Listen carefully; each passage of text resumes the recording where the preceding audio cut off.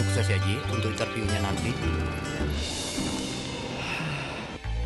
Pak, Haji diterima kerja, Pak. Pak, Haji lulus, Pak. Beda masa, satu rasa. Sukun spesial baru. Saya tuh berkali-kali cerita di mana-mana. Saya tuh punya teman dulu sekolah itu goblok kira karuan. Terus melarat goblok kritik. Oh, itu ora tau munggah kan sekolah. Wireng bisa, lumayan kue putih. Pirang. itu peda ker- sekolah ora tau munggah. Serangannya jaduk. Jaduk baca. Pokoknya seneng jaduk. Dia itu kerja di pedalaman Kalimantan. Kerja betul. Dulu juga ada HP. Dia punyanya surat. Terus kulo niku teng pedalaman Kalimantan. Niku tiang-tiang tak ajak Jumatan tak ajak sholat duhur gak. Dia eling sisa-sisa fikih eling. kalau dalam adab Syafi'i orang yang tidak mustautin itu kan tidak wajib Jumatan. Dan kalau jumlahnya tidak 40 tidak usah Jumatan, hanya sholat apa? Duhur. Masih ingat ya orang goblok banget sama mondok suwi. Mondoknya bareng kulo. Akhirnya singkat cerita, tiap neng pedalaman Kalimantan itu dia gaya musola kok bekas-bekas kayu. Ya terus kalau Jumat mereka jak duhur gak gelem. Padahal nggak 40 juga tidak mustautin penduduk yang punya kampung. Alasannya memang wong awam, Pak, Pak, wong Jumat-Jumat kok duhur. Terus ini tak aku, Gus apa boleh duhur? Apa boleh apa? Jumatan, tak jawab boleh. So, ini kalau ada pelah mending Jumatan. Singkat cerita, dia tersiksa. Dia ini cerita di penjara ya, karena dia orang soleh dan dia nganggap itu sholat penting. Bukan sekedar sholat penting, juga penting mengajak orang lain sholat. Wes kere temang sang yang tengah alas, ike buruannya polisi, yang zaman di sini jenenge ilegal loge. Dia tetap nganak nomu sholat. Juga komunitas sholat, mahabbah yang Allah dan Rasul. Tapi kalau kita membiasakan anak, jom gue sekolah IAIN, jom gue sekolah Alia, ben kok iso ning Al Azhar, ben iso ning Umil Kuro, kok kowe LC, terus payu ning departemen. Kowe nak dong mimpin agama bentuk gaji. Dalile fit dunya hasanah wa fil. Nah, tapi problem yang jenis ini adalah ketika negara nak menggunakan, dia akan putus asa. Ketika yayasan besar nak menggunakan, dia akan putus asa. Mengalor ngidul gue ijazah. Sesuai golek dukono nih gue wong sing ra digelar. Nah, ini kan sama-sama problem. Artinya kita sebagai ulama harus beda. Meskipun kita saling mengakui tapi harus.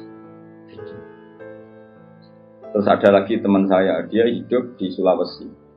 Ya sama kerja di Kayunan. Itu kalau mau cari masjid, itu 4 jam. 4 jam dari dia di, di tempat kayu tadi.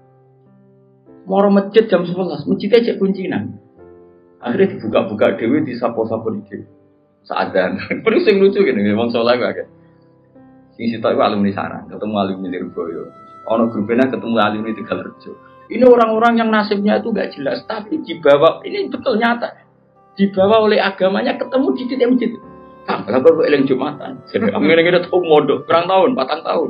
Apa terima jadi ini? Bisa ngaji lah tenanan. Macam-macam lah. Akhirnya masjid itu ketemu sekian alumni pondok besar. Cocokan nasib, cocokan ibadah, cocokan macam-macam. Eh, jajal sampai. Saya tuh pernah ke PJTKI. Itu di Jakarta. Itu kebetulan kakak saya itu pas ke situ saya diajak ada teman saya. Suwandri orang wong jeneng Hamid. Terus kamu kenal orang ini, namanya Hamid. Ini dulu mondok di sini. Mesti katanya kenal jenengan. Tak takut, Met. Kau orang kerja Arab Saudi gak? Amen di Korea ya.